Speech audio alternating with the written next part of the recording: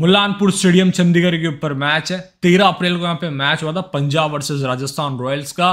उस गेम में पंजाब किंग्स 147 बनाती है। सबको लग रहा था, यार ये तो तेरह चौदह में मैच खत्म हो जाएगा, जैसे आईपीएल चल रहे हैं अभी। 270 240 पार स्कोर दिख रहे हैं हर जगह।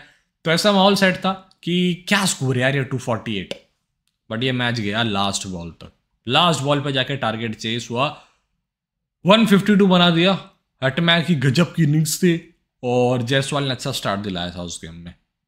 182 बना उससे पहले, नौ विकेट के नुकसान पे चेसिंग टीम 180 बनाती है, जो एक रन से टारगेट से पीछे रह जाती है। एक सौ चौहत्तर बना नौ विकेट के नुकसान पे चेसिंग टीम उसको चेस कर जाती है, चार बॉल रहते।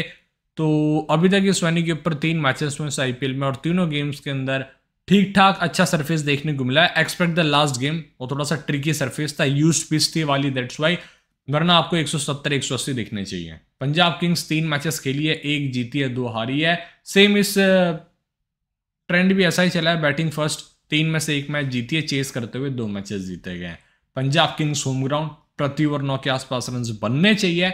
और जो लास्ट मैच था, पंजाब आर का वन फोर्टी जिसमें बना था, उसमें आठ विकेट पेसर आई मीन दस विकेट पेसर ने निकाला और चार विकेट स्पिनर्स के नाम थे। और जो तीन मैचेस हुए ना इस आईपीएल में, इस मैदान के ऊपर, तैंतीस विकेट निकाला है पेसर्स ने। पहली पारी में अठारह, दूसरी पारी के अंदर पंद्रह। राइट आर्म पेसर सत्रह लेफ़्ट आर्म पेसर का सोलह विकेट है। स्पिनर्स की बात करते हैं तो आठ विकेट निकाले हैं, पहली पारी में पाँच, दूसरी पारी के अंदर तीन। लेग स्पिनर्स का तीन चैनमैन का दो लेफ़्ट आर्म ऑर्थोडॉक्स स्पिनर्स का तीन विकेट है। इस आईपीएल में कोई भी एक एक भी ऐसा वेन्यू नहीं है जहाँ पर स्पिनर्स को मदद मिली हो।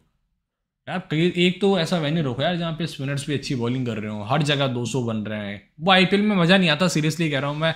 जब तक आपका ऐसे क्लोज गेम्स जहाँ पे स्पिनर्स भी अच्छा कर रहे हो बैट एंड बॉल का इक्वल बैलेंस हो, भाई दो सौ अस्सी बन रहे हैं, दो सौ नब्बे बन रहे हैं। फिर बाद में प्लेयर्स कहते हैं, नहीं भाई, सब तीन सौ बनने चाहिए, तीन डिजिट रह गई, एक कमी, तीन लिखा हुआ आना चाहिए था वहाँ पर। मतलब क्या बेजती हो रही है बॉलर्स की? सोचने वाली बात है सबसे बड़ी।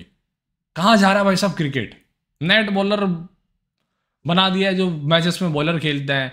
इससे अच्छा बॉलिंग मशीन ले आओ। बैटिंग ऐसे ही कर लो, जैसे पहले आईपीएल में क्या होता था, आपने देखा होगा, दस साल पहले हम देखते थे मैच से पहले बॉलिंग मशीन लगाई जाती थी हाई लार्जेस्ट सिक्स का वो कंपटीशन चलता था। ऐसे खेल लो यार, क्या ज़रूरत है बॉलर्स को खिलाने की? हटाओ इनको साइड में।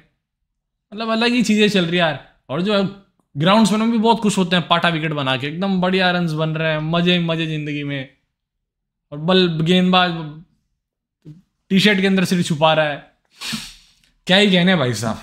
क्या ही कहने pitch of Mullanpur Punjab versus RR का जो मैच था, तब पिच यहाँ पर ऐसी थी। और बेहतर ट्रैक था सीरियसली कहूँ हल्की सी जो पिच थी, ये एक एंड में ड्राई थी, आप खुद देखें। वो तो मैं बोलूँगा ही यार ड्राई थी, क्योंकि स्लो हो गई थी पिच मैच जैसे जैसे प्रोग्रेस हो रहा था लिविंगस्टन का स्पेल आप भूल नहीं सकते ब्रार ने अच्छी बॉलिंग करी थी वहाँ। सैम गरन ने भी अच्छा डाला था स्पेल सामने पिछहत्तर स्क्वायर आपको 67 64 लास्ट गेम में दिखी थी, और उससे पहले जब यहाँ पे पंजाब एस का मैच होता, तब पिच यहाँ पर ऐसी थी। 63 70 और सामने बहत्तर मीटर्स थी। और जो पहला मैच हुआ था डे गेम था पंजाब डीसी का, तब 64 67 सामने पिछहत्तर तो अच्छा सरफेस होता है, बड़ी बाउंड्रीज है यहाँ पे भी लॉन्ग ऑन लॉन्ग ऑफ़ की तरफ़। तो वेरिएशंस करके बॉलर्स विकेट निकाल सकते हैं। और मुलान के ऊपर third fourth fourth highest turn देखने को मिला है। इतना नहीं, दो डिग्री के तो नीचे ही है यार। कम से कम तीन चार डिग्री हो तो मज़ा आया हमको देखने में। बट कम है ये तो बहुत। ये स्टेडियम का व्यू है, ये देख सकते हैं आप। खूबसूरत ग्राउंड है, मुलानपुर का। कैसे लगी पिच रिपोर्ट कमेंट करके बताना। चैनल पे न्यूज़ सब्सक्राइब कर लो, घंटे बटन दबा दो। किसको जिता रहे हो आप इस गेम में? पल्टन को या फिर पंजाब द मुंडे गेम के अंदर जीतेंगे? मेरे को पता है मुंबई से बहुत फैंटेसी प्लेयर्स मेरे को फॉलो करते हैं बट मैं चाहता हूँ पंजाब वाले भी कमेंट करके दिखा दें।